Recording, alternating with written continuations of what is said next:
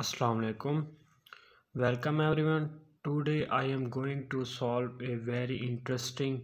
and intelligent question. So the question is 3 power 3 plus 3 power 5 plus 3 power 7 let's start. The solution is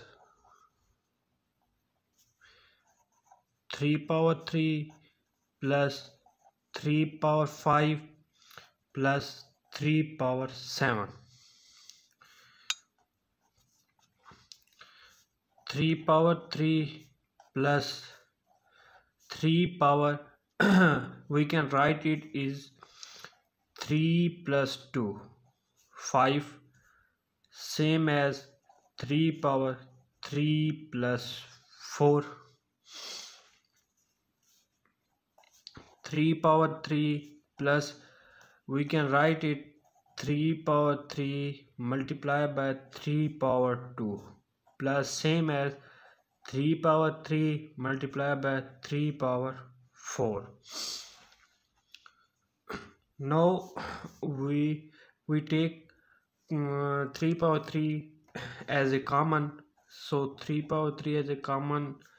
So it will remain 1 plus 3 power 3 take common 3 square plus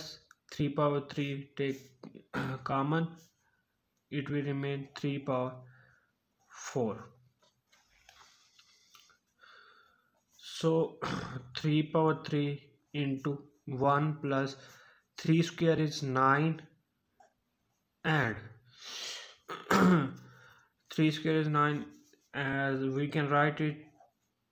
3 power 2 plus 2 3 power 3 1 plus 9 plus 3 3 square dot 3 square.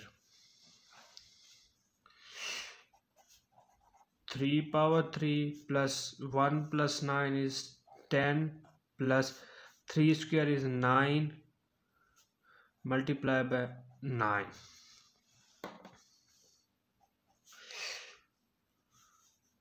so 3 power 3 is 27 into 10 plus 9 multiplied by 9 is 81 so 27 in 10 plus 81 is 91 27 multiplied by 91 so 27 multiply by 91 is equal to 2457 2457 so this is the answer of this question